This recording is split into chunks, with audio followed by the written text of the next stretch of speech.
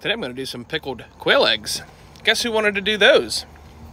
Me. So, Pickled Girl loves her quail eggs, so we're going to do them. These are rustic pantry made by Uniquely Gourmet. So, all right, jalapeno on the top.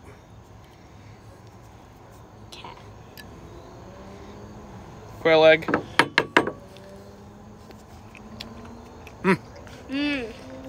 Love a good quail egg. So the flavor's pretty good. Has a little bit of a spice. It's not very spicy. Just a little bit. Jalapeno spice. You want another one? I see garlic. Yeah. So we're gonna do another egg and then she'll she'll get the garlic. But this is the quail egg. That's really good.